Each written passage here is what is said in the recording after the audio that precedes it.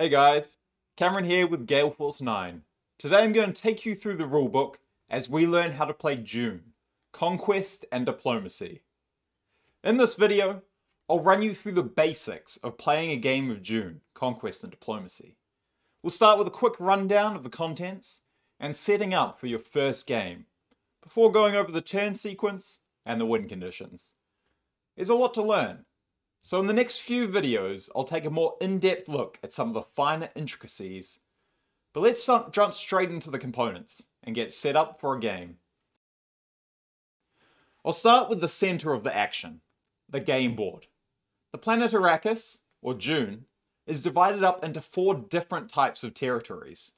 Sand territories, with their name in white, rock territories, with a mountainous background, the polar sink in the center, and finally, stronghold territories, with a darker background and their names in black.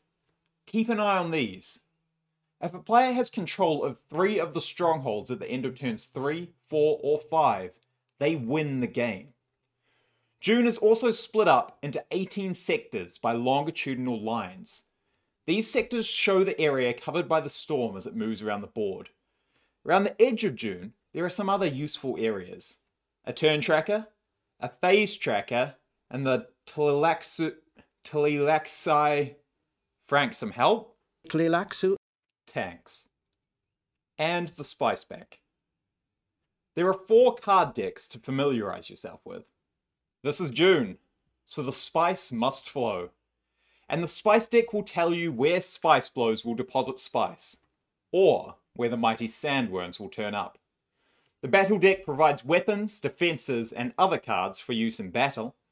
The traitor deck, with a card for every leader disc, will be used to determine traitors in battles. And finally, the market deck, based on the Arrakeen marketplace from the film, which includes plenty of tricks and tools to outsmart and outmaneuver opponents.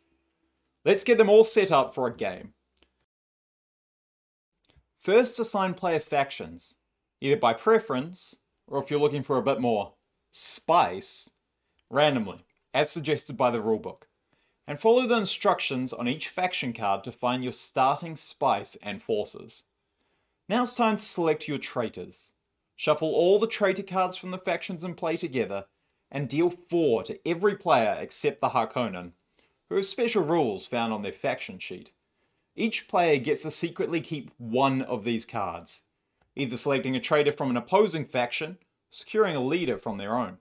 Having a traitor means that if you fight that leader in the battle phase, you instantly win, without losing any forces, so choose carefully. Return the other cards to the deck and shuffle. Before we start play, it might help knowing how to win. So let's familiarize ourselves with what we're trying to achieve. The objective of Dune, Conquest and Diplomacy, is straightforward. Occupy three of the strongholds by the end of turns 3, 4, or 5 to claim a military victory. However, if the game reaches the end of turn 5 without this happening, player with the most spice wins an economic victory, with any stronghold that is controlled counting as 5 spice. Play happens through 7 main phases. There's a lot to learn about these phases, so I'll go over them more in the next video. But here's a brief overview. First, the storm phase to move, unsurprisingly, the storm around the board. The spice blow occurs, revealing the location of spice or sandworms on the board. Players then have the opportunity to gain battle or market cards. Forces and leaders can be revived, you guessed it, during the revival phase. Shipping and movement of forces to and around Dune occurs. Any battles over contested territories are fought in the battle phase. And after everything, the previous spice can be collected, before moving back to the storm phase. Each player rolls the storm die to determine who goes first and takes the first player token, with the storm icon being the highest value. And the battle for Arrakis begins. The spice is ready to flow. Make sure you subscribe down below and click the bell to be notified when the next video drops, where I'll discuss the seven main phases in more detail. This is only the beginning.